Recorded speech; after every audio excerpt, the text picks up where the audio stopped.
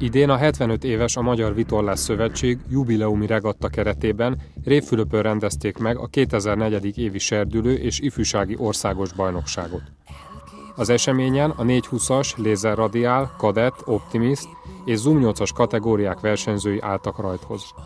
A versenyt a Magyar Vitorlás Szövetség versenyrendezőinek közreműködésével bonyolították. A Révfülöpi Vitorlás Egyesület amely az elmúlt években egy nagyon komoly ifjúsági nevelőmunkát végzett.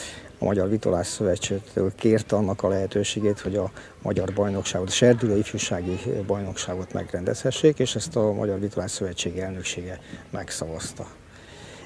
Úgyhogy ennek köszönhetjük azt, hogy most Réfülöpön vagyunk, és itt ez a sok gyerkőc úgy gondolom, hogy nagyon kellemes körülmények között, szárazföldi körülmények között, mert az időjárásra szélre ezt nem mondhatjuk el. Én úgy gondolom, egy jó szervezett magyar bajnokságon vehet részt. A magyar versenyvitorlázás rendezvényei hagyományosan a Balatonfüred, Balatonkenese, Balatonföldvár alkotta háromszög területén zajlanak, és ritka kivételt jelent, ha egy-egy versenyt mélyen a Balaton nyugati medencéjében bonyolítanak. Ennek az időszámításnak mostantól vége. Révfülöp végérvényesen bekérezkedett ebbe a háromszögbe. Azt gondoljuk, hogy az északi partnak a közepén rendkívül jó adósságokkal rendelkezünk, és elsősorban az ifjúság nevelés terén e, megmutatott eddigi eredményeink tették lehetővé, hogy magyar bajnokságot hozhattunk Révfülöpre. Nagyon fiatal klub a Révfülöpi Vízi Sport Egyesület, mindössze 5 évvel ezelőtt alakult. Kifejezetten azért, hogy a helyi gyerekek, a környékbeli gyerekek megtanuljanak úszni, megtanuljanak megtanulják a környezetvédelem alapszabályait, és megtanuljanak vizorlázni.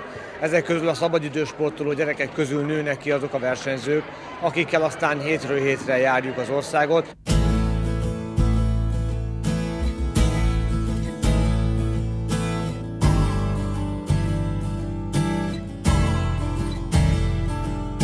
Réfülöp mindent megtett annak érdekében, hogy ez a 200 gyerek jól érezze magát, szélcsend esetén, eső esetén is megfelelő elfoglaltságot találjon egy hétig.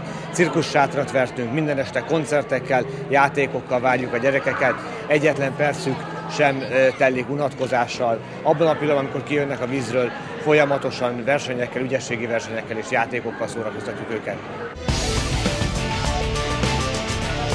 Az elmúlt évek magyar vitorlás élsportjának gyakori szereplője volt Gosztet Marcel, egykori olimpikonunk, aki a Révfülöpi versenyen teljesen más szerepben vett részt. Most edzőként vagyok jelen, mert a Spartakusszal idei évre megállapodtam, és kaptam egy kis csapatot, akiket most erre a versenyre felkészítettem. Itt a magyar viszonylatban ez az egyesület azon kevesek közé tartozik, ahol mondjuk adottak lehetnek a feltételek a, a jó munkához.